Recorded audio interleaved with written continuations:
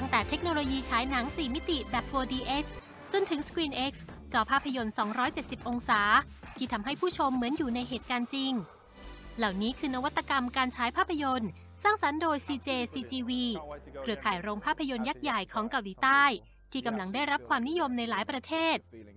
แต่ภาพลักษณ์ของ CJ CGV ในวงการภาพยนตร์เกาหลีใต้ กลับถูกมองเป็นบริษัทที่ปิดกั้นการเติบโตของวงการภาพยนตร์แดนโสม จากการกีดกันการฉายหนังที่ไม่ทำเงินของผู้สร้างอิสระ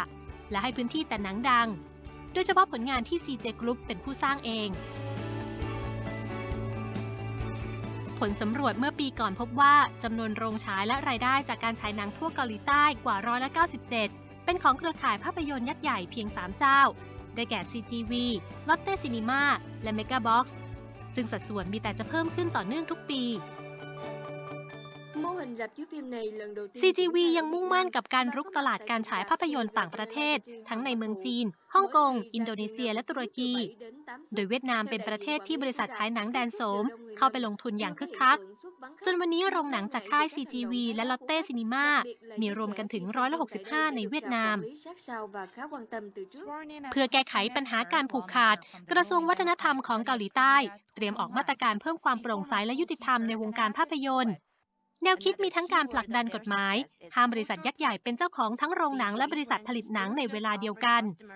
รวมถึงการกำหนดโคต้าโรงฉายต่อหนังหนึ่งเรื่อง เพื่อป้องกันการจองรอบฉายให้กับหนังดังไม่กี่เรื่อง โดยโดจิงฮวารัฐมนตรีว่าการกระทรวงวัฒนธรรมเกาหลีใต้คนปัจจุบันเคยเสนอกฎหมายป้องกันการผูกขาด สมัยที่เป็นสมาชิกสภานิติบัญญัติ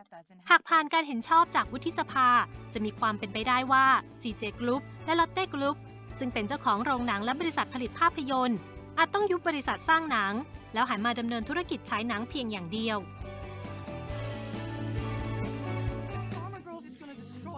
สุดสัปดาห์ที่ผ่านมาอกจ้า หนังไซไฟของผู้กำกับบองจุนโฮถูกสามโรงหนังยักษ์ของเกาหลีใต้คว่ำบาตรการฉาย เพื่อประท้วงที่หนังเลือกเผยแพร่ทางอินเทอร์เน็ต พร้อมกับโรงฉาย จนอกจ้ามีรอบฉายเพียง 94 โรง แต่หนังดีกรีเมืองคานส์ก็ยังทำเงินบนบ็อกซ์ออฟฟิศถึงอันดับ4โดยยอดผู้ชมกว่า 23,000 คน เป็นความสำเร็จที่แสดงให้เห็นว่า แม้บริษัทยักษ์ใหญ่จะมีอำนาจผูกขาด แต่แรงสนับสนุนของผู้ชม คือสิ่งตัดสินความสำเร็จและความล้มเหลวของหนังที่แท้จริง